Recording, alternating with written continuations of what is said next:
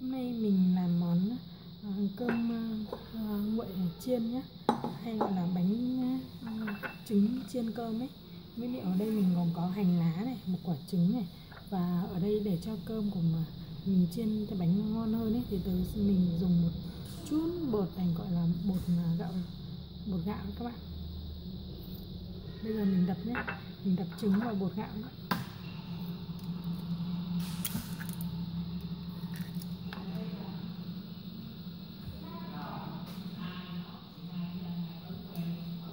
các bạn thái hành lá cho cho vào trứng đây mình dùng à, khoảng 10 gram bột gạo lết. Thì khi mình làm bánh à, trứng chiên cơm này thì sẽ à, bánh của mình sẽ ngon hơn đấy khi mà các bạn không dùng bột.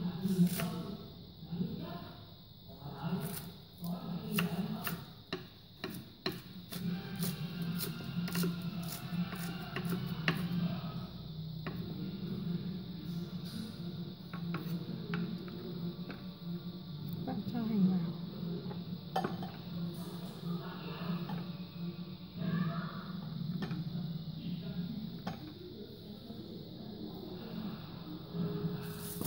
mình cho một phần hai thìa mình chính.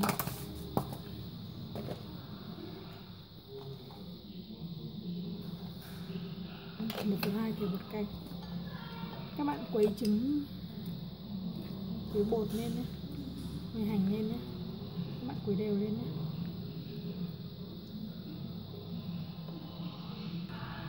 Các bạn quấy đều lên nhé.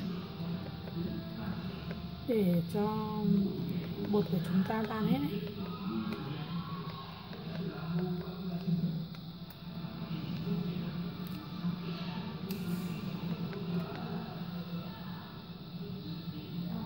Các bạn nhớ quấy đều nhé, để cho bột tan hết nhé.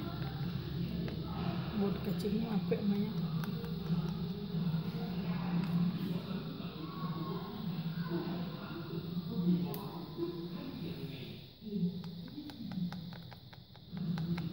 bây giờ mình đổ vào bát cơm nhé các bạn nhé ở đây mình dùng à, một bát cơm con đầy với một quả trứng và 10 gram bột lết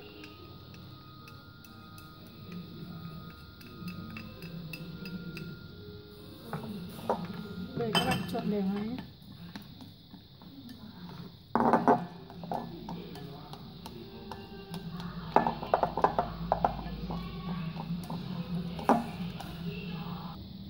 Giờ mình dùng bao tay các bạn nhé. Mình bóp cơm nhé.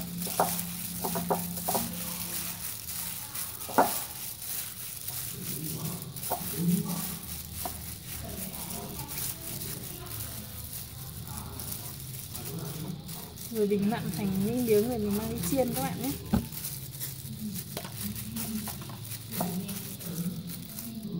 Các bạn bắt một chảo dầu lên bếp như này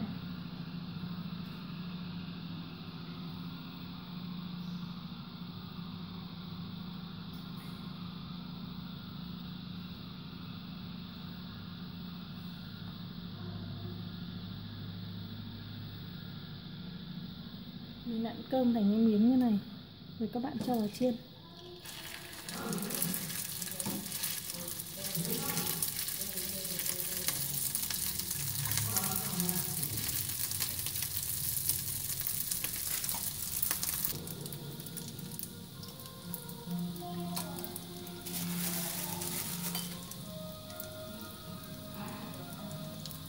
Các bạn kiểm tra xem cơm được chưa? Được thì các bạn lật nhé.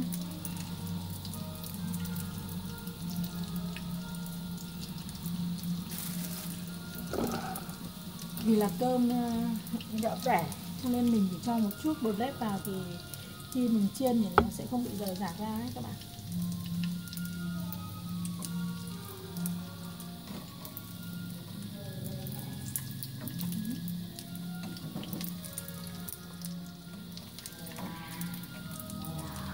Đấy.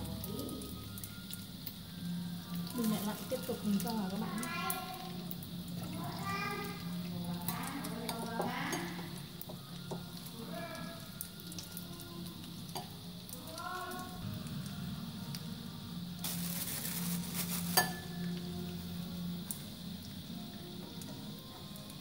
bạn để ý nhá. Khi mà chuyện cơm đã vàng rồi thì các bạn lật lại nhé để, đây chưa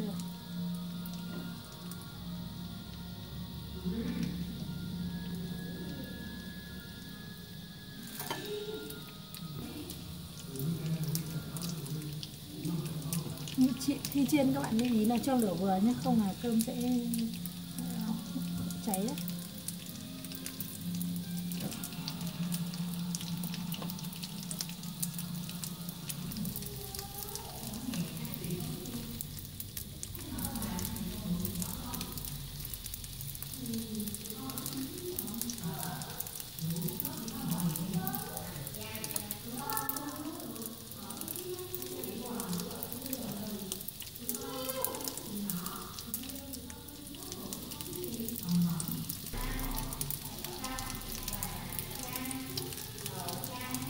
miếng này của mình như này là được rồi đấy. Mình để trên này để cho góc mỡ các bạn nhé.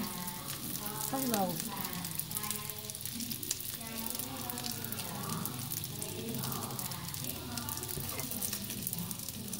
Mình gấp ra các bạn nhé.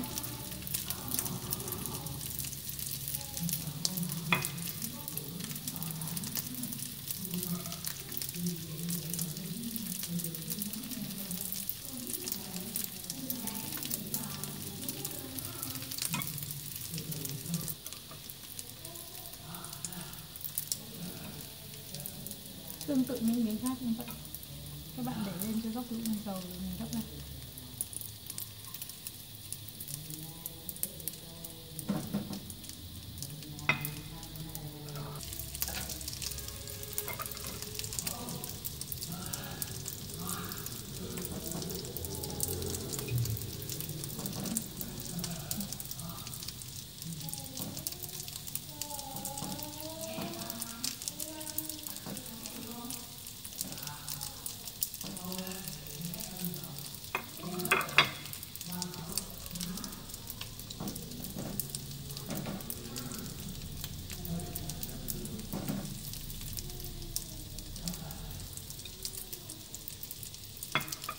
mình chiên nốt à, mì miếng này là xong rồi các bạn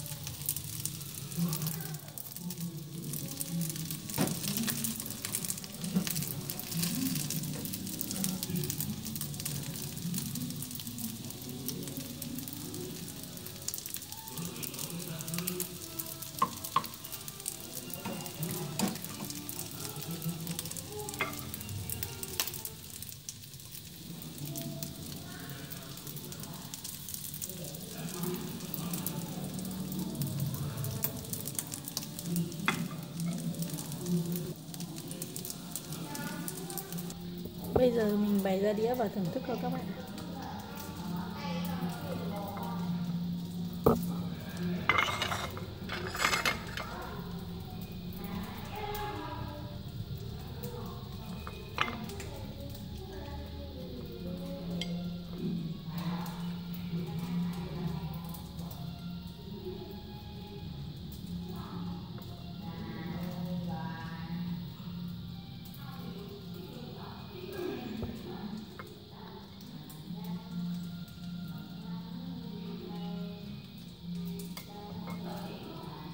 cơm chiên của chúng mình rất là ngon.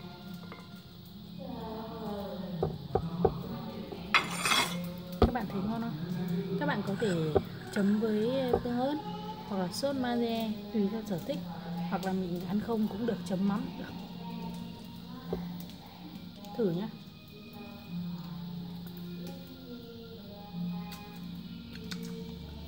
rất là thơm, rất là ngon. Chúc các bạn thành công nhé